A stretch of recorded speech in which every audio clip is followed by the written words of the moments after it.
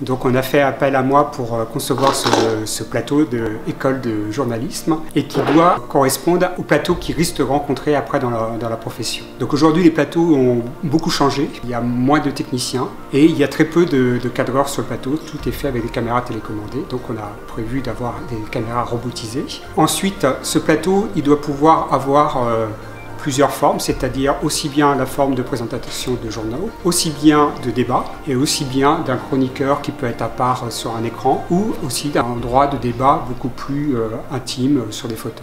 Avec euh, l'arrivée du net, on est de plus en plus en contact euh, réel avec les gens dans des décors naturels. Il y a beaucoup d'interviews qui sont sur les décors naturels. Donc c'est pour ça qu'on a décidé d'avoir des murs plutôt blancs, qu'on éclaire euh, avec des LED pour mettre une petite ambiance, et avoir ce côté chaleureux avec un desk où les gens peuvent venir participer.